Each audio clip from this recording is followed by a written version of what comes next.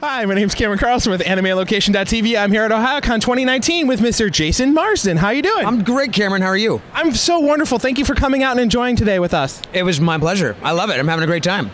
Alrighty, so how'd you get started in the world of entertainment? I was, uh, I was, I should have looked at that first. No, I'm, uh, I was 12. Uh, my uh, parents uh, uh, relocated from Rhode Island to Los Angeles. My dad taught ballet at Fullerton College. And while we were there, everyone's like, oh, your son's so cute, you should get him into acting. And uh, so they took me to a workshop. The workshop trained me. It was like all ages. Went uh, uh, commercial, TV, theatrical. Did that. They sent me to an agent. Agent signed me, and and uh, fame and fame and fortune happened. Um, okay, so this is really personal for me. Um, you happen to work on the award-winning and honored film Spirited Away. It's Haku.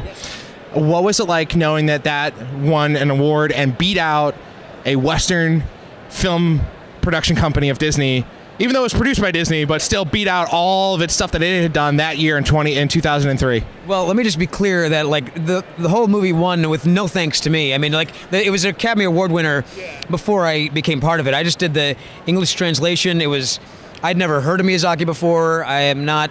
I shouldn't say this at an anime convention. I haven't seen a lot of anime. Sorry, I didn't have a cool older brother or friend to like introduce that stuff to me. So uh, when I booked it, it was explained to me like, yeah, you know, this is uh, this movie made you know more money than Titanic, and uh, Miyazaki's like the Japanese Walt Disney, and.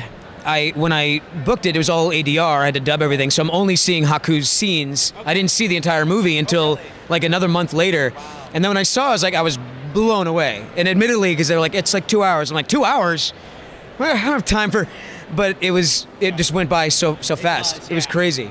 Yeah. I, I, I owned it and, and I love it and it's thank you for doing your work on it. I loved it. I did it for you. I did it for you, Cameron. Um, and again, uh, you hit my childhood so well. You did Max in the Goofy movie. Um, what's it like giving a real life lesson and message in the movie? You know about loving your dad, growing up, and, and going away, and and you know keeping that bond with him throughout. You know because obviously Goofy is trying to come to that acceptance in that term that you're going away, but then at the same time you're like, no, no, it's okay, Dad. You can let go, but I'll still always be there as your son. Yeah, it's it, it. One thing that hit, that I love about having worked on this is, is, especially in the concert it is like I have so many people, even today, that come up to me and be like, "Man, thank you. This movie, I watch this with my dad, or I watch this with my mom, and you know we don't get along, but we bond over this this movie. It, you know, it feels outstanding. Yeah. Uh, I was going to say, um, you know, you also worked on Fairly Odd Parents, a really fun and wonderful show. How was it like to play off Tara Strong and the rest of the cast? Actually, we are friends with Miss Strong. Uh, we've interviewed her. We interviewed her uh, back in 2016. Fantastic. I love me some Tara. I knew her before when she just moved to the states, and I was like instantly impressed with her, her talent. We worked on a cartoon together called uh, Extreme Ghostbusters. Okay.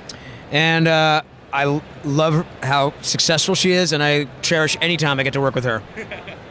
Alrighty, and um, now another fun show for uh, fans with children of their own is the Transformers Rescue Bots. Yes. Um, how did you get to voice off a great cast, including uh, our personal friends, Mr. Steve Blum and DC Douglas? Um, what what was it like working on that show and putting out fires? Let me tell you, there was no fires to be put out. It was all love. I've never you ever worked on a you ever worked on a uh, you're talking about DC? Yeah. Yes. Chase.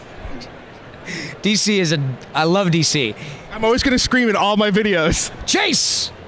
He's so. It, uh, okay, you ever worked at a job where you get along with everybody so hard, it's like lightning in a bottle, yeah. and you hang out afterwards and you share a text thread. Like that's how it was. Like I've done hundreds of cartoons for over 30 years, and I've never worked on a show where everyone. It couldn't be. It couldn't be more of a mixture of people. There was uh, animation veterans like Mo LaMarche and Blum, animation newbies like DC, like Amari uh, Williams, like Shannon, like uh, Parv, uh, uh, and we got along so good. And we still like we did four seasons. We still share text thread. Like it was Par- Parvesh's birthday, and uh, he's sending pictures of his mom uh, dancing on the. They went to see Conan. They would you know dance on the Conan set and stuff like that. But it's it's outstanding. It's one of my favorite projects to work on because of that. Plus, I'm sorry, my show. Uh, plus, huge Transformers fan, so I was like, it was a thrill to like voice a Transformer, you know, and be part of that that history. I say I, I watched uh, a lot of it. I'm more of a Beast Wars guy, uh, so we've. Hey, we're done here. I had the chance to meet uh, Scott McNeill, who worked on five characters for that show. Uh, so I was that's where I picked up Transformers. But I do love the original. I do also love the '80s version as well. Uh, that's what that's what I grew up with. That was my it was my jam. Well, of course, when you have that legendary voice of Optimus Prime, I mean, come on. Peter Cullen, who also worked on Rescue Bots. Really? Yeah. Oh, that's right, because he does show up as Optimus from time to time. He does. Yeah, I'd never I'd never met him until we worked on that. And what are you looking at? Is it you're looking at me? You're looking over here. Is there princesses? What's going on? Trying to have a conversation. You're just bored. keep looking at your. So a lot of fans may not know this that whenever I talk to someone, Yes. I look at the mic to the mouth ratio. so Okay. You have a good. You have a good mic. Okay. Mic voice. All right. Thank you. That's why I kind of unfortunately like look past you. I'm like, uh, no, it's, it's I'm looking at you still. Don't worry. All right. Peter Cullen hadn't worked with him before. He came in to do some Optimus Prime, and he, he, he came in separate from all of us. So I knew he was showing up early. I showed up early to meet him. He was like a little taller than me, kind of like very soft voice, and he gets in the booth and he starts doing Optimus Prime. And I tell you, I like melted to my 12 year old self. I started to get emotional. It was it was amazing. That's why like I get it when when people come up to me and and they're very excited. I I totally understand. Um, and again, this is another personal one for me and my mom because she loves Hocus Pocus, and you got to be Binks the cat.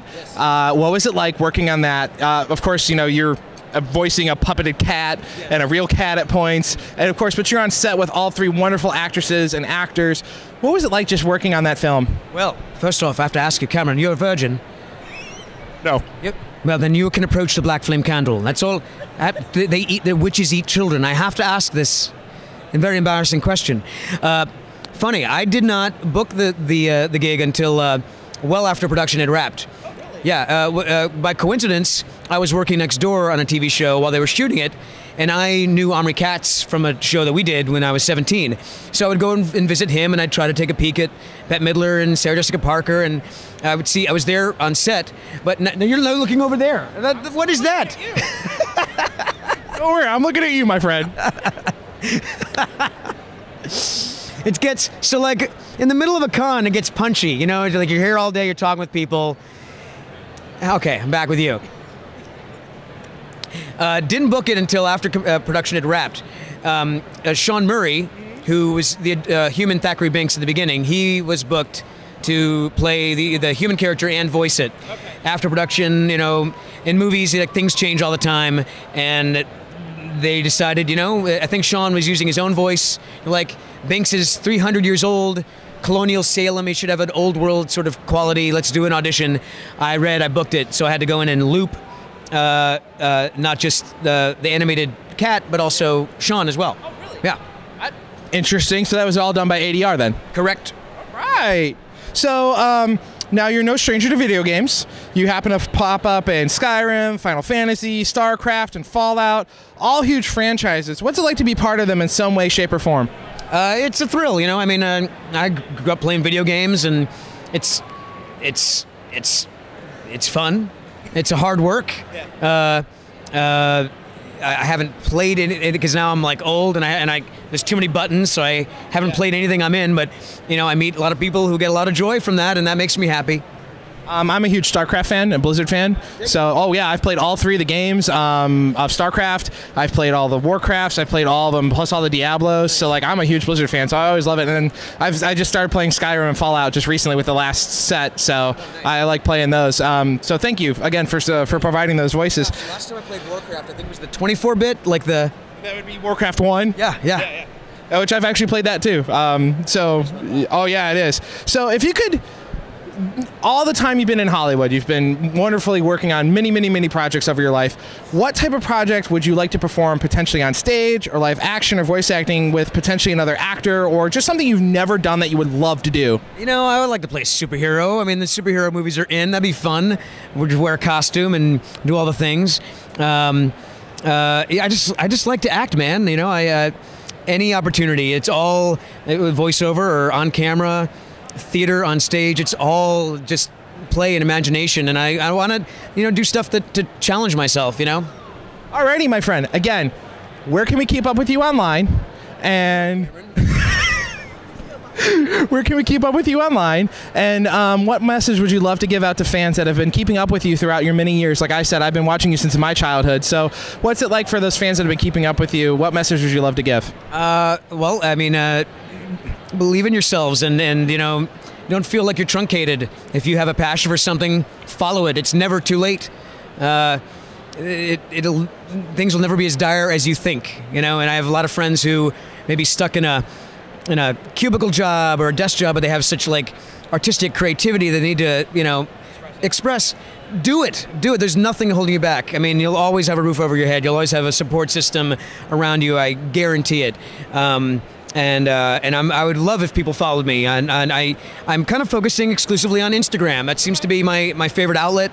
So it's at Jason Marsden on Instagram. And uh, if you're really interested if in stuff I do outside, I live in Nashville, Tennessee. I work with musicians. I produce shows. I produce shows for musicians and comics and whatnot. And and uh, I'm very proud of that. And uh, if if you want to be introduced to some like great you know, local indie comedy and, and music and burlesque, follow me at Mars Presents. Okay. Actually, we have several friends in Nashville. Uh, Kaza, the band Kaza, is down there. Um, also, uh, Sailor Moon, Jennifer Cihi is down in Nashville. Really? Um, or yeah, Eric Stuart. Eric Stuart. Yeah. Oh, so last weekend, yeah. yeah. so you got plenty of friends that we know down there too. Dig it, dig it. Well, come by and make sure you look me up when you're there. Alrighty, my friend. Thank you so much for coming and stopping by. Thank you so much again. Thank you. Thank you. Look how well he turned out. this guy.